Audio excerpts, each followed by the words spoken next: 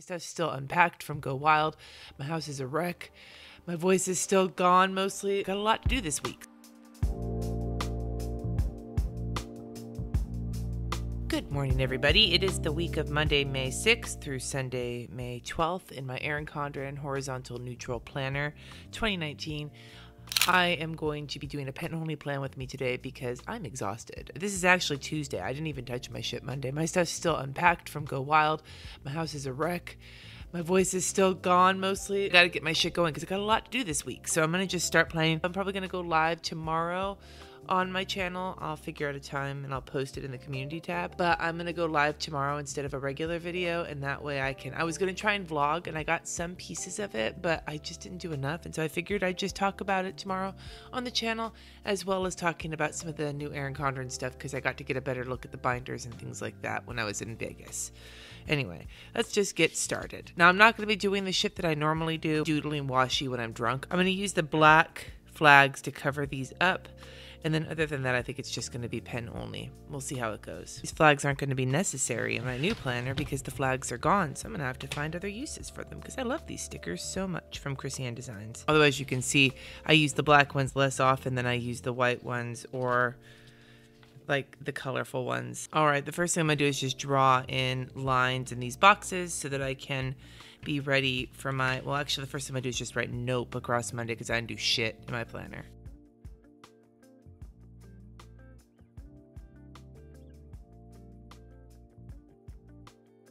All right, there's Monday. See, I'm already making progress. I'm going to draw in my lines for blood pressure and so on and so forth. And I'll chat as soon as I'm done with those, but using rulers gives me the fucking non happiness, and I'm already tired and wiped out. Sorry if I sound grumpy. I'm not grumpy, I'm just exhausted.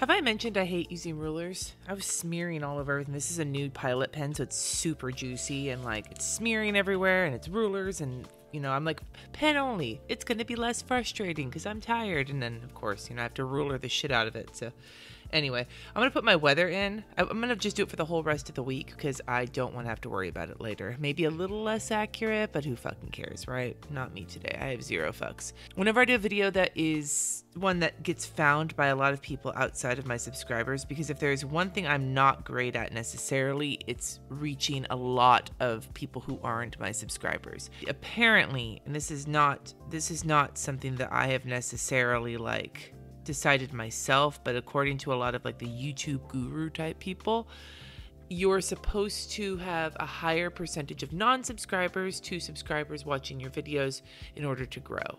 That's never been the case for me. I always have many more subscribers than non subscribers, which means you guys who subscribe, you fucking like my videos, and I'm okay with that. But when I put out a video that pulls in more people than usual, like more new people, as an example, the Erin Condren um, release video last week, there's always comments about my cussing. This is not an invitation to go and give them shit. Don't go give them shit. They are entitled to their opinions. But I feel like today I'm like extra cussy, and maybe that's part of it. I don't know. So yeah, don't be an asshole to people in my comments. I don't think you will. You guys are great. You're not assholes. But on the same note, it always amuses me because then I know a video has started to reach other people because I start seeing more and more of those comments about the F bomb. Anyway, complete total ramble. I'm still working on my first cup of coffee.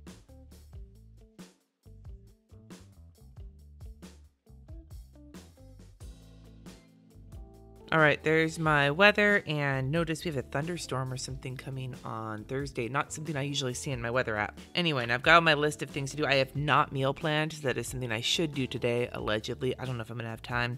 I have a freelance email I got that I need to take care of today. So I'm gonna just go down the line and just do each day as opposed to going through doing my timed appointments and going back. I'm just trying to blow through everything I know I have to do because one of the things I need to do this week is sit down and really assess everything. Like, this is kind of a basic start, but I do need to kind of sit with all the stuff I have to do this week to catch up after being gone for Go Wild and figure my shit out. So that's actually something that needs to happen. But two things that have to happen today relatively quickly are I have a patron Facebook Live to catch up with them this afternoon at 2.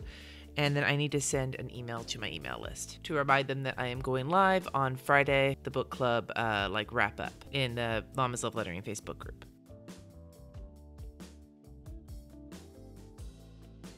All right, so I got those two things on here. The other things I've got on my long list for today are to unpack. I have a metric shit ton of laundry. Let's just put it this way I'm on my last pair of clean underwear and I have a million pairs of underwear. I need to meal plan. I have to do some work on my book, by the way. I'll talk more about this in my live video tomorrow when I go on, when I figure out what time it is. I'll have figured it out by the end of this video. Let's put it that way. I'm writing a book. I announced it to my patrons a couple weeks ago. I announced it to everyone at Go Wild at during my session on Friday. God, I sound so hoarse. But yes, I'm writing a lettering book and it will be out at the end of the year, hopefully, if everything goes well. And I got some work to do today. That's the big project I was working on throughout Plan As You Go month. I'll talk more about it tomorrow when I go live. Anyway, I'll tell you when that is when I figure it out. And then I need to continue planning my week out, and I got a little bit of work I have to do for Kristen. That's a lot of shit. I don't know if I'm gonna get it all done today, but I need to. Thankfully, the laundry can run while I'm doing this, but I might be able to meal plan while I'm in the car waiting to pick up Katie, even if I don't know what's in the, the, the cabinet. I can start at least. We'll see. God, it sounds like I'm still smoking. Ah, Vegas. So I'm gonna start lettering this shit in here.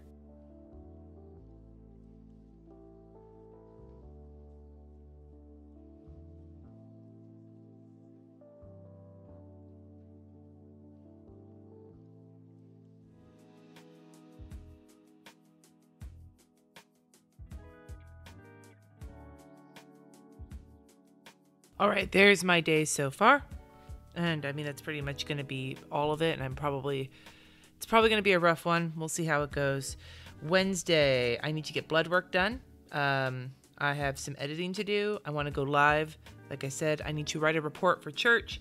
I need to go to the dry cleaners, and Katie has early release, so I need to remember that. I'm thinking I will go live tomorrow at 4 p.m. Pacific time. Let's just go with that. We're going to go with it. 4 p.m. Pacific time. Going live Wednesday the 8th. So live at 4 p.m.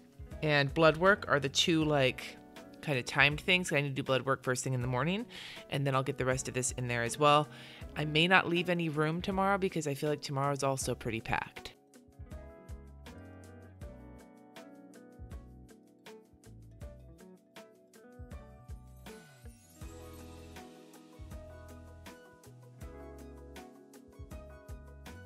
All right, there's Wednesday. I'm going to leave a little bit of space and I'll figure the rest of it out tomorrow. Thursday, I have some filming to do. I have a video appointment with my doctor in the afternoon. I'm gonna like kind of check my inbox for anything urgent, but I'm probably gonna really dig into my inbox on Thursday because it'll be the first day I can really focus on it. Like I didn't look at my emails hardly at all. I, I kept notifications on for my emails in case something urgent came up, Thankfully, I'm not board president at my church anymore, so I didn't have to worry too much about stuff like that. But I did keep my emails open. But the reception wasn't always great at church, and so like I dropped the ball on a couple things while I was gone. Not gonna lie.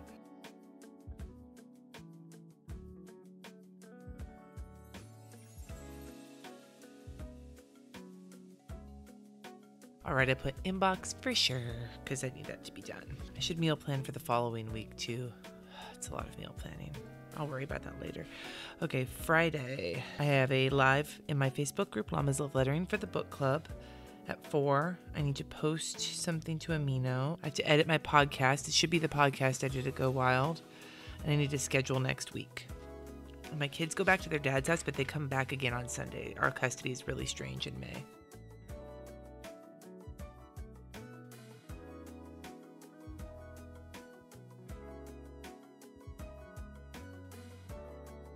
And then Saturday, um, I don't have much on Saturday, thank God. We don't really have any plans, which means we'll probably doing work around the house. We need to wash our sheets, and I have a patron hangout on Saturday evening, and I need to renew my Dropbox. I have to pay up that bill. And other than that, I have nothing, and I'm okay with that. I'm not going to put relax because I feel like that might be tempting fate.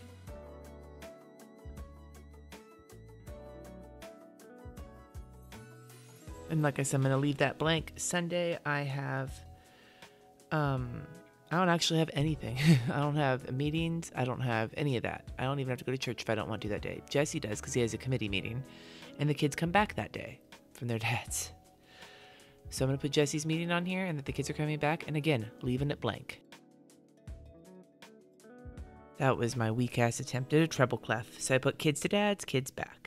Now in my notes section, I am going to just write the, the phrase choo choo motherfucker. It came from my podcast where I told people in it to get they need to get all on board the gravy train of life, choo choo motherfucker, and it has been in my head and apparently a lot of other people's heads ever since. So I'm writing that on here for the week. And the reason I said it is because I was pointing out that you have to like be able to like live your life and care about your life. I I realized, and this podcast should be up in about a week, but I I realized that when I was looking at words and definitions and everything that the one of the opposites of life is indifference. And so you need to give a shit about your life. And so this is to remind me to get back on track, not because my life is off track, but because it's really easy for me to spend time in bed and exhausted. And even if I do a lot of that this week because I need to take care of my body, I also need to inch forward a little bit every day. And that's what this is going to inspire me to do. So I would love to hear from you. If you went to Go Wild, what was your favorite thing? And if you didn't go to Go Wild, I'd love to know something you're doing this week to kind of inch forward in your life, even if it's just a little tiny thing. Let me know in the comments below. Thank you so much for watching. I'll see you tomorrow when I go live at 4 p.m. Pacific Daylight Time. And until then, see you next time. Asta.